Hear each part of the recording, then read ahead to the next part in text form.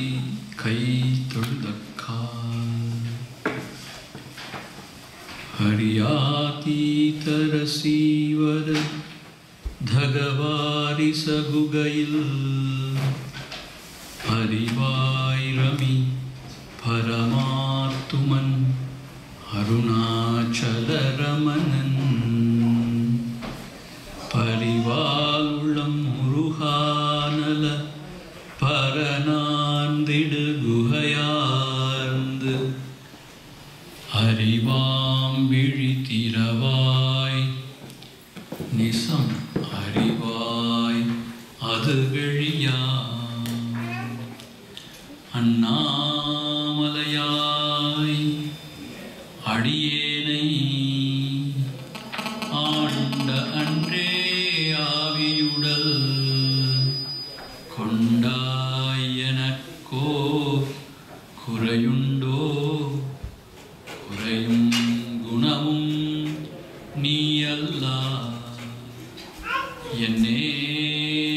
நிவற்றை என்னுயிரே.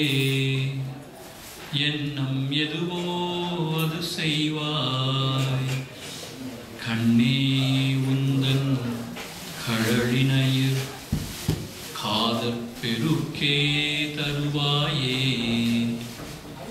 கண்ணே உந்தன் கழலினையிர் காதற் பெருக்கே தருவாயே ஸ்ரீ அருணாச்சலம் அருணாச்சலம் ஸ்ரீ அருணாச்சலம்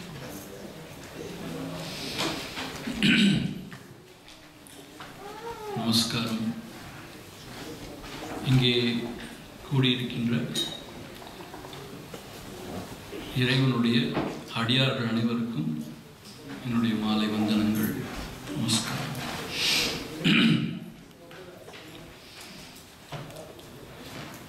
உங்களில் நிறைய பேர் ஆஹ், யாழ்ப்பாணத்தில் அதாவது இலங்கை பிறப்பிடமாக கொண்டவர்கள் நம்புகிறேன். அதில் யாழ்ப்பாணத்திலிருந்து வந்தவுடன் நம்புகிறேன்.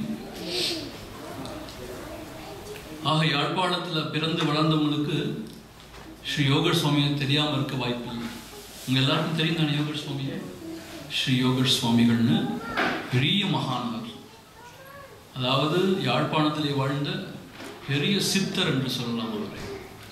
முக்காலமும் உணர்ந்த ஞானியாக வாழ்ந்தவர் அவர்.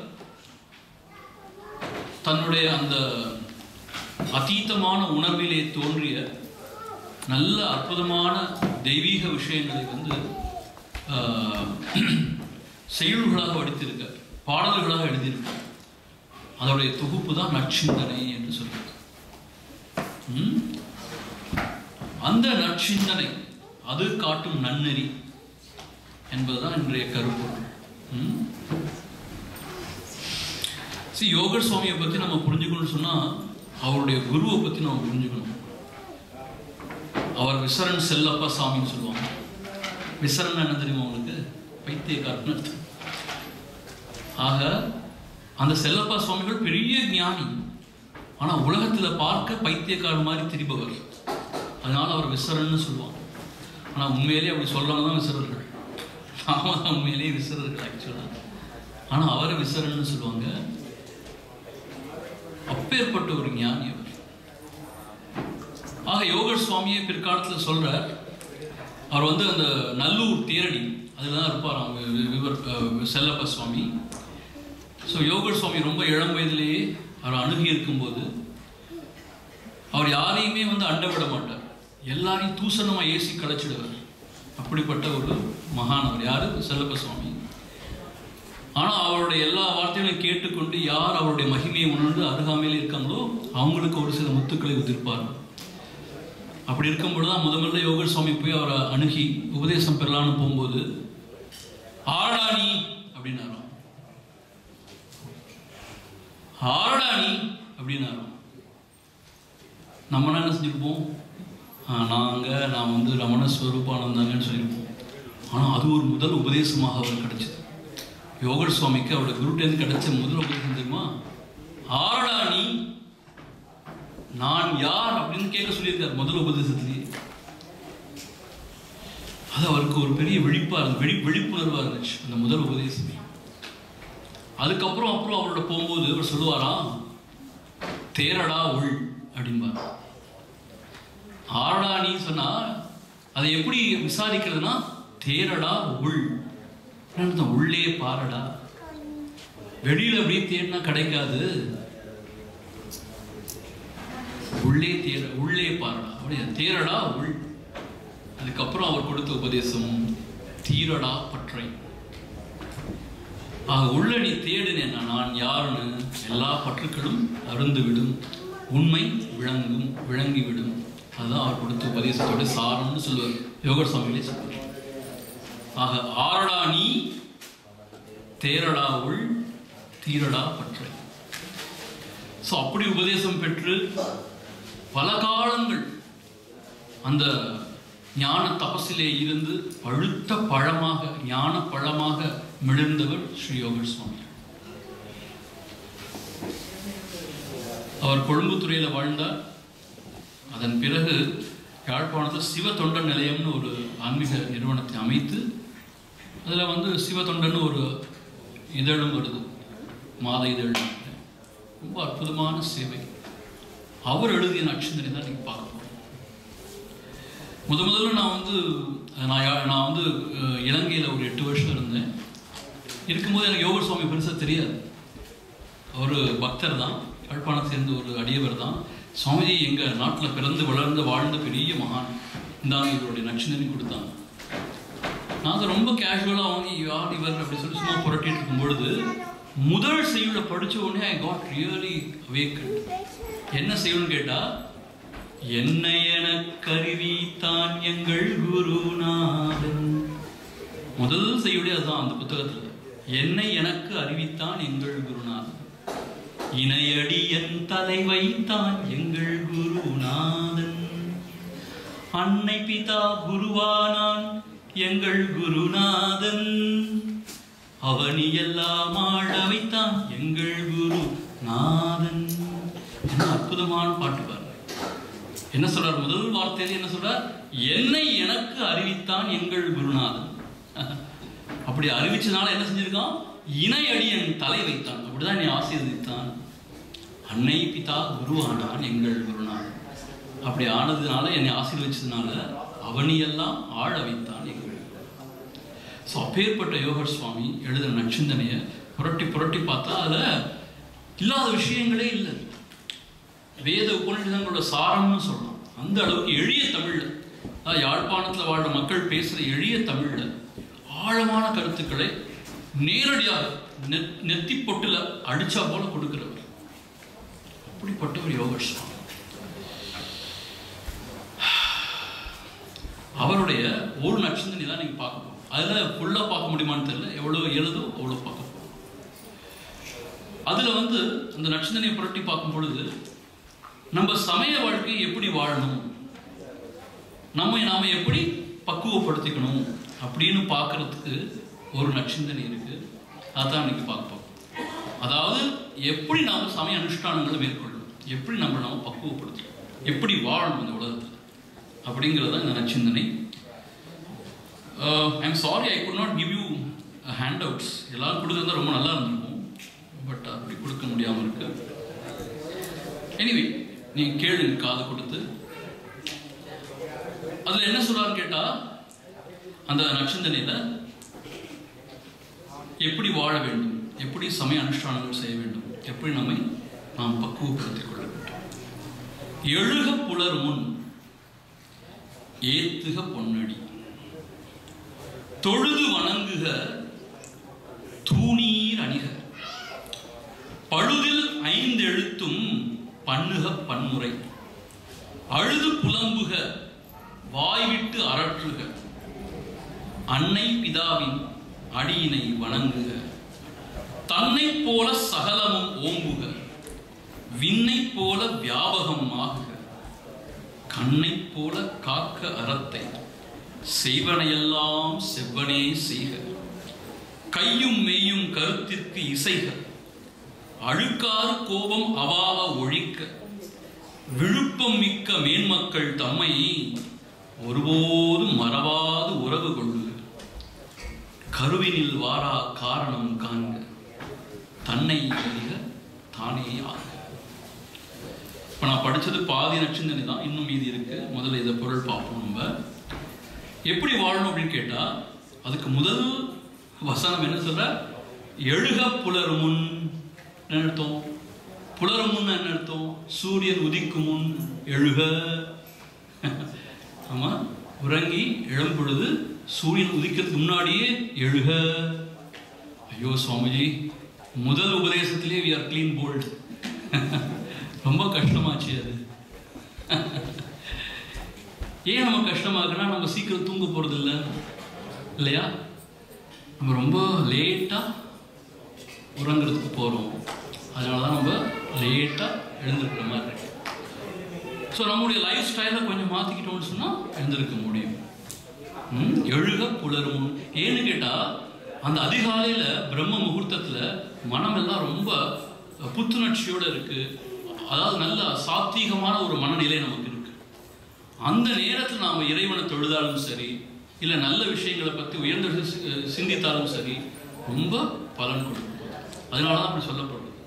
எழுக புலரும் முன் எழுந்து என்ன செய்யணும்? ஏத்துக பொன்னடி.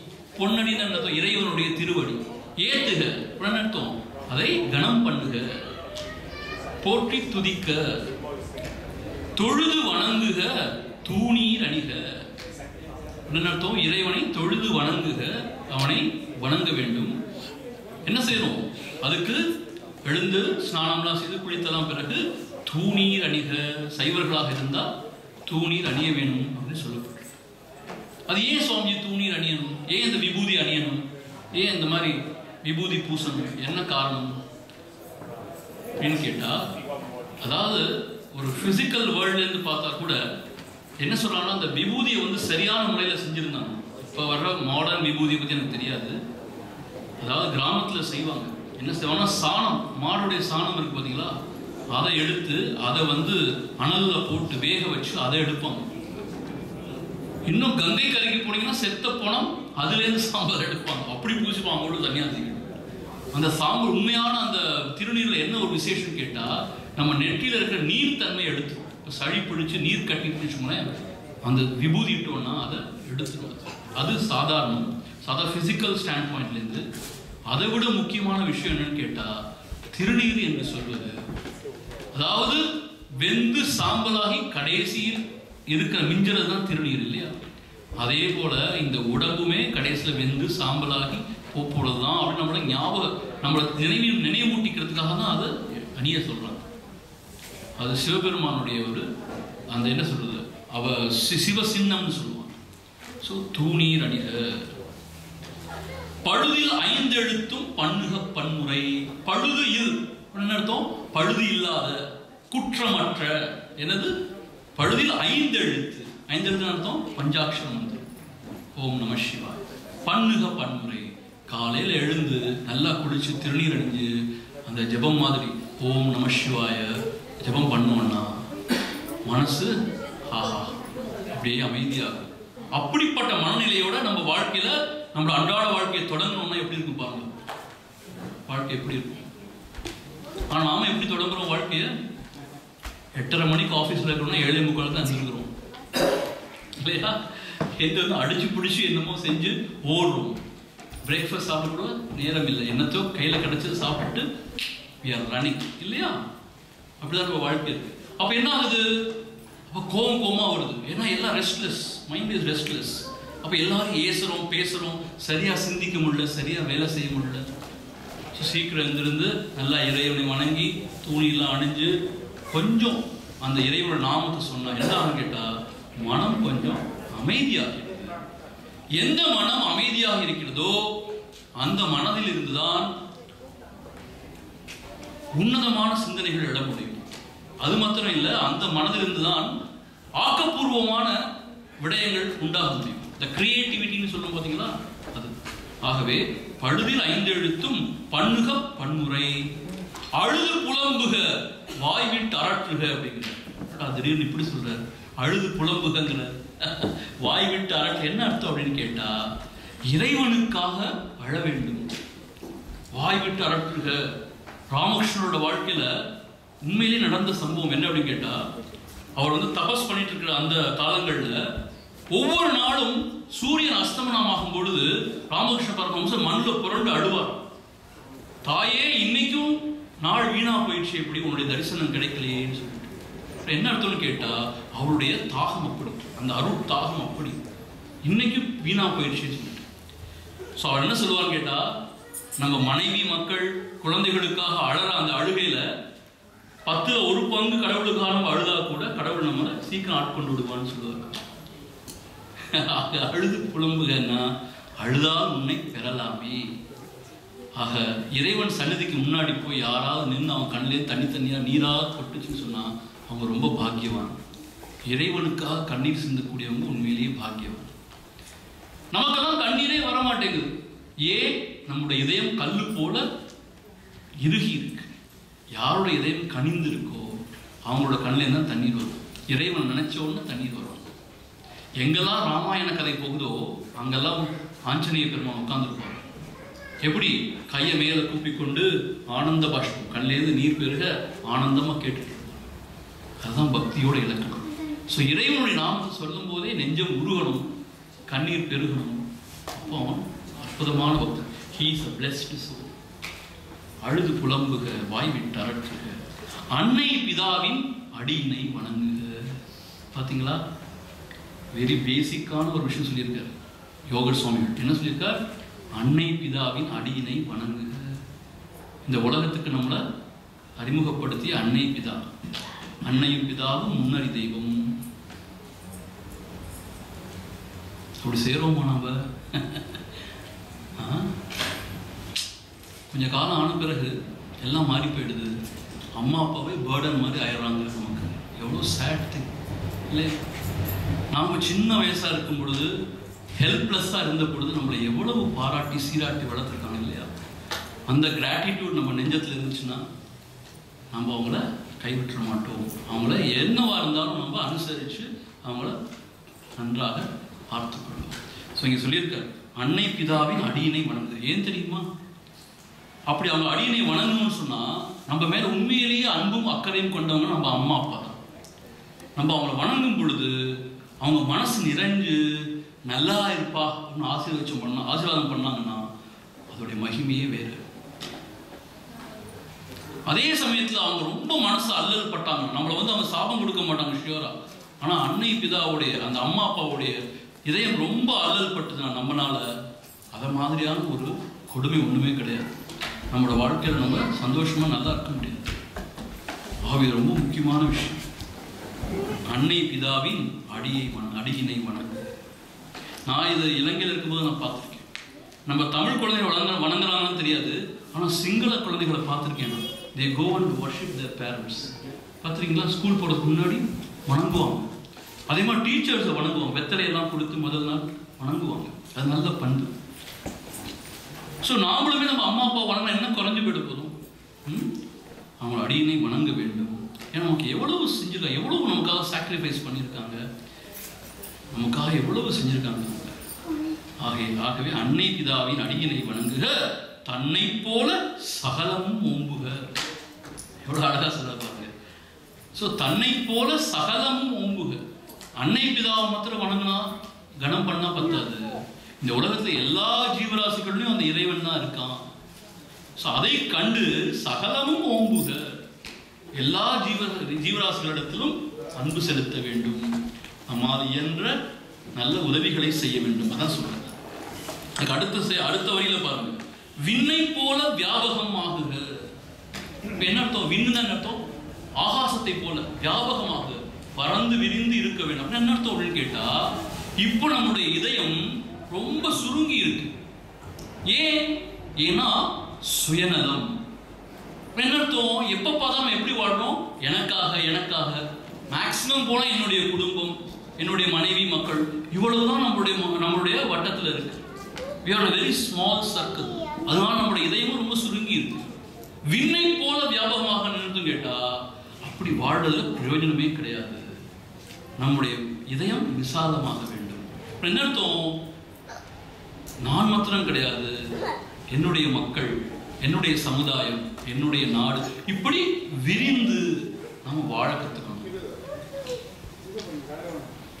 இந்த சுயநலம்ங்கிறது தான் பெரிய கொடிய வியாதி. ஆக்சுவலாக நம்ம பீடித்திருக்க வியாதி அதுதான். அதனால தான் நம்ம ரொம்ப அல்லல் இந்த உலகத்தில். சந்தோஷமே இருக்க மாட்டேங்குது கடைசியில். ஏன்னா நம்ம ரொம்ப நம்ம மனம் சுருங்கி இருக்கும் யாருடைய மனம் நல்ல விரிந்து இருக்கோ அவங்க ஆனந்தமா இருக்கிறத நம்ம பார்க்குறோம். பெரிய ஞானிகள் மகாத்மாக்கள்லாம் அவங்களுடைய இதயம் விசாலமா இருக்கு. எல்லா எல்லோரையும் அணைத்துக் கொள்வார் தங்களுடைய உறவினர் கூட எல்லோரையும் அணைத்துக் கொள்வார் expansion is life contraction is death அப்படி விவேகானந்தர் சொல்லியிருக்கார். Expansion is life contraction is death என்ன அர்த்தம்? இதயம் சுருங்கி சுருங்கி எனக்காக எனக்காக எனக்காக வாழ வாழ வாழ that is டெத்துங்கிற when you live for everybody when the heart expands that is life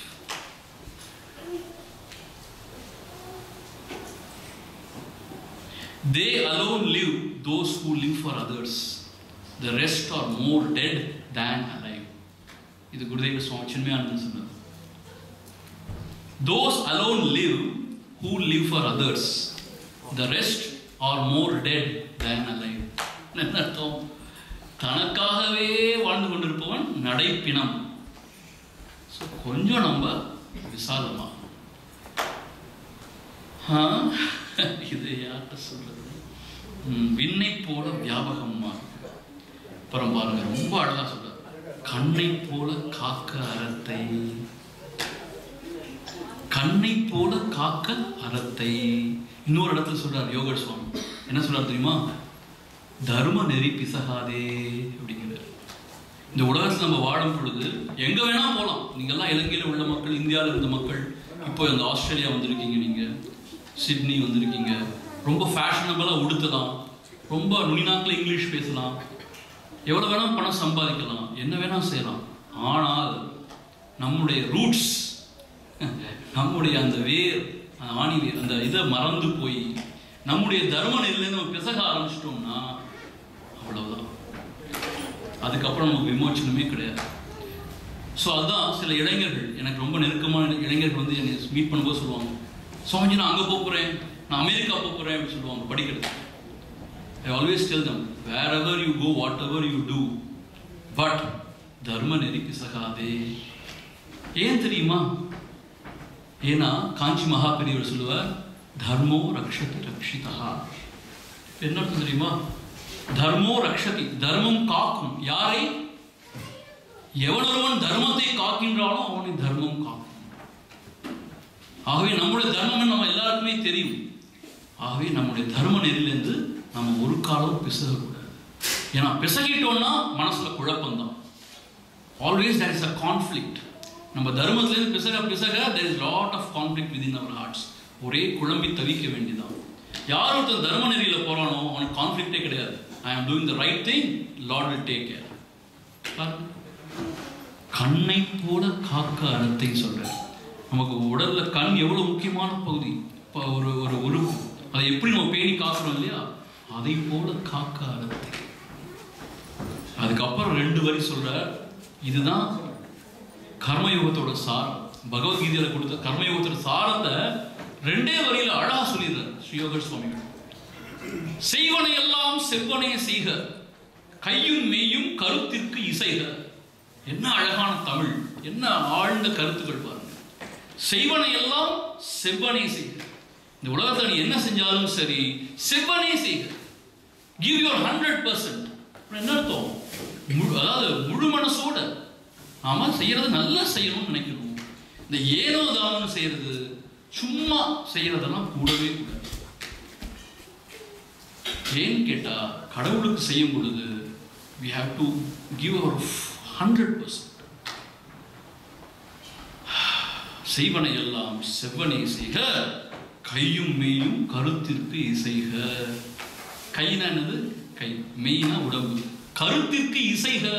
இதுதான் தியானத்தோட சூட்சுமம் அதான் அர்த்தம் குருதேவர் சுவாமி சின்மையான என்ன சொல்லுவா தெரியுமா? Keep the mind where your hands are at work அப்படிம்பாரு. Keep the mind where your hands are at work அந்த கை எங்க வேலை செய்தோ அங்க மனம் இருக்க பழகு. That is a secret of success இப்போ நம்மளோட நம்மளோட வாழ்க்கை என்ன ஆகுது? கை எங்கேயோ வேலை செஞ்சுட்டு மனசு எங்கேயோ சிரிஞ்சிட்டு இருக்கு இல்லையா? That is the problem so இப்படி ட்ரெயின் பண்ண ட்ரெயின் பண்ண எங்க கை இருக்கு வேலை செஞ்சுட்டு இருக்கோ அங்கேயே மனசை வைக்க வைக்க வைக்க we really succeed whatever we are doing இதைத்தான் பு- பௌத்தர்கள் என்ன சொல்கிறாங்கன்னா மைண்ட்ஃபுல்னஸ்னு சொல்றாங்க. கேள்விப்பட்டிருக்கீங்களா? இந்த புத்திஸ்ட் ரிலீஜன் இஸ் மைண்ட்ஃபுல்னஸ் என்ன செஞ்சாலும் கருத்தா செய் கவனமா செய்.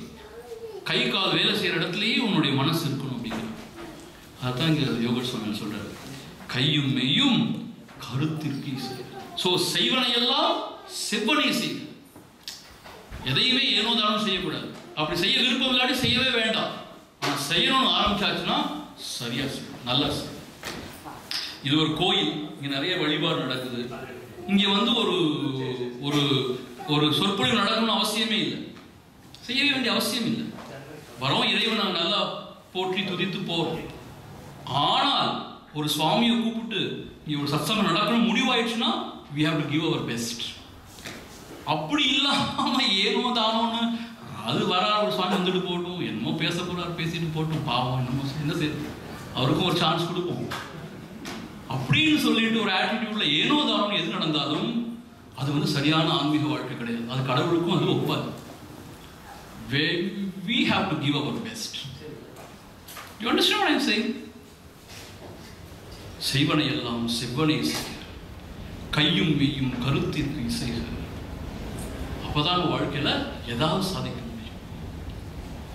கையும் மெய்யும் கருத்திற்கு இசை. இதை மறக்காதீங்க. யோக சுவாமி சொன்னது கையும் மெய்யும் கருத்திற்கு இசைக அப்படி வாழ சொல்றாரு. அப்புறம் பாருங்க அழுக்காறு கோபம் அவா ஒழிக்க. அழுக்காறுன்னு அர்த்தம்? யோசிச்சு பாருங்க ஒரு ஆறு ஓடிட்டு இருக்கு. அது பயங்கர அழுக்கா இருக்கு. உங்க டக்குன்னு உங்களுக்கு ஞாபகம் வரும்னா எங்க கூவம் நதி நீங்க பார்த்துருக்கீங்களா? சென்னையில. நானே அதை சொல்லக்கூடாது. நீங்க சென்னை போகும்போது சில பஸ்ல போகும்போது தூங்கிட்டே போவீங்க. டக்குன்னு முடி போறோம் ஒரு மாதிரி ஸ்மெல் வருது. பார்த்தா சென்னை வந்துட்டீங்க. கூவம். அழுக்கு ஆறு. அதே மாதிரி நம்ம இதயத்துல ஒரு அழுக்கு ஆறு ஓடுது. என்ன தெரியுமா? பொறாமை. பொறாமைக்கு தான் தமிழ்ல ரொம்ப தூய தமிழ்ல அழுக்காறுன்னு பேர். சோ நம்ம மனசுல பொறாமை வந்துடுச்சுன்னா அது என்ன அர்த்தம் தெரியுமா? மனசுல அழுக்காறு ஓடுதுன்னு அர்த்தம். பொறாமை என்ன அர்த்தம்? அடுத்தவன் வாழ நமக்கு சகிக்காது. ஒரே வயத்தெரிச்சல் அடுத்தவன் நல்லா இருந்தான். அதுதான் பொறாமை இல்லையா? அது ரொம்ப மோசமான ஒரு குணம். அதுக்கு பேர் என்ன? அழுக்கு ஆறு. அழுக்காறு கோபம். கோபதாபம். அதுவும் கூடாதுங்கிறாங்க ஏன்னா கோபம் தலைக்கு ஏறும்போது நம்ம என்ன செய்யணும்னு தெரியாது இல்லையா? லேட்டர் வி அதனால பிரயோஜனமே இல்லை. அவா அவான்னு அர்த்தம் ஆசை. சரி இதுலேயும் ஒரு விஷயம் இருக்கு. நம்ம பெரியவங்க என்ன சொல்றாங்க தெரியுமா? எல்லா ஆசையும் துறைன்னு சொன்னால் அது முடியாத காரியம். சாதாரண மக்களுக்கு இல்லையா? ஆகவே கீதை என்ன சொல்லப்படுதுன்னா ஒரு ஆசை வந்து தர்மத்தோடு கூடியதா இருந்துச்சுன்னா பரவாயில்லைங்கிறார். தர்மத்துக்கு புறம்பான ஆசையை நாம வந்து ஆதரிக்க கூடாது அந்த ஆசையை விட்டுவிடணும் தர்மத்துக்கு புறம்பான ஆசையை விட்டு விட வேண்டும். அழுக்காறு கோபம் அவா ஒழிக்க. அப்புறம் சொல்ற விழுப்பம் மிக்க மேன்மக்கள் தம்மை ஒருபோதும் மறவாது உறவு கொள்ளுங்க மேன்மக்கள்னா யாரு? தன் புலனையெல்லாம் புலனை புலனை எல்லாம் அடக்கி இறைவனையே சிந்தித்திருப்பவர்கள் தான் மேன்மக்கள். அப்படிப்பட்ட மேன்மக்கள் நம்ம நம்மளை நம்மளுடைய வட்டாரத்தில் இருக்கும் பொழுது இல்லாட்டி நம்முடைய நெய்பர்ஹுட் நம்ம வாழும் பகுதியில் இருக்கும் பொழுது ஒருபோதும் மறவாது உறவு கொள்ளுக. அப்புறம் அர்த்தம்? அவர்களை அணுகி பணிந்து நல்ல விஷயங்கள்லாம் கேட்டு தெரிந்து கொள்ள வேண்டும்.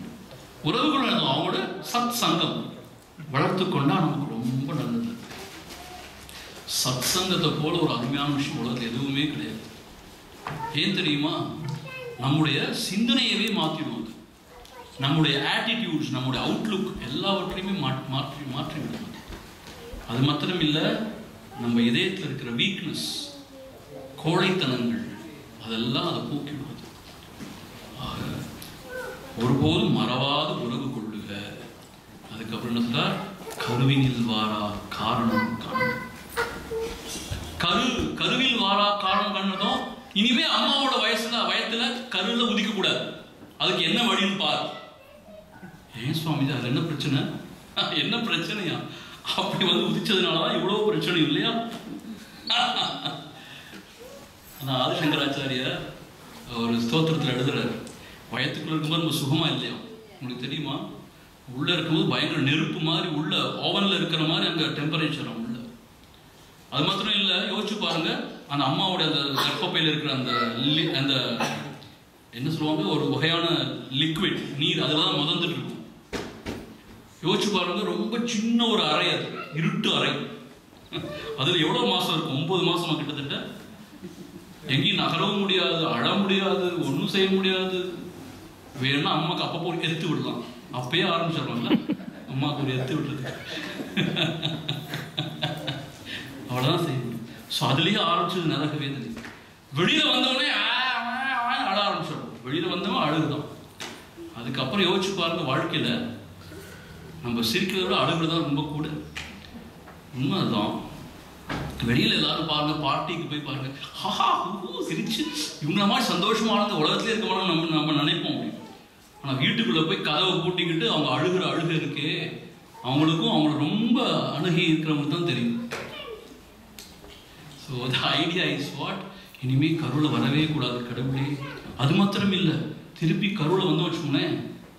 யார் திருப்பி ஏபிசிடிலேருந்து படிக்க ஆரம்பிக்கிறது? ஏபிசிடி திருப்பி அந்த மூட்டையை சுமந்துட்டு போகணுமே. திருப்பி டீச்சர் அடி வாங்கணும். ஆனால் இப்போல்லாம் டீச்சர் அடிக்கிறது இல்லைன்னு. என்ன திருப்பி டியூஷன் போகணும் மை காட் திருப்பி பட்டம் பெறணும். திருப்பி ஐயோ கடவுளே. கருவினில் வா மூப்பு பிணி சாக்காடு. ஆ, அதை யோசிச்சு பாருங்க. மூப்பு பிணி சாக்காடு. இதெல்லாம் வேண்டவே வேண்டாம் இல்லையா? அதான் கருவினில் வாரா காரணம் காண்க. என்ன கையோ என்ன என்ன செஞ்சா கருவில வாராமல் இருக்க முடியும்? அதுக்கு அவரே பதில் சொல்றார். தன்னை அறிக தானே ஆகுக. தன்னை அறிக. தன்னுடைய உண்மையான ஸ்வரூபம் உண்மையான தன்னுடைய இயல்பு என்னன்னு தெரிஞ்சிருச்சுன்னா தான் வந்து இந்த உடம்பு கிடையாது வருந்தி வாடுகின்ற ஜீவன் கிடையாது தான் அந்த ஆனந்த ஸ்வரூபங்கிற அந்த உண்மை விளங்கிடுச்சு சொன்னா அப்புறம் எந்த வகையான பிறப்பு இறப்பு எதுவும் கிடையாது. அதான் சொல்றேன். ஆ?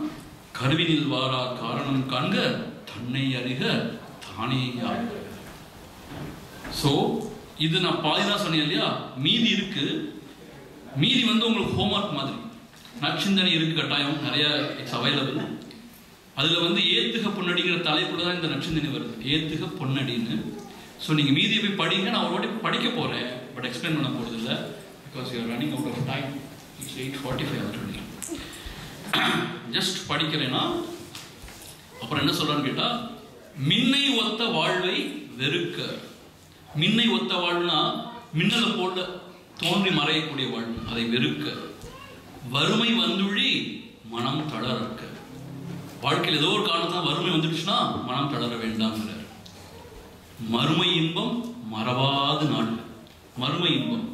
அதை மறவாது நாடு அடியார் தங்கள் அடியினை மலர்கீழ் குடியாய் வாழ்க குறைவெல்லாம் தீர்க. அடியார் தங்கள் அர்த்தம்? இறைவனுடைய அடியாருடைய திருவடி கீழே வாழ்ந்து குறைவெல்லாம் தீர்க.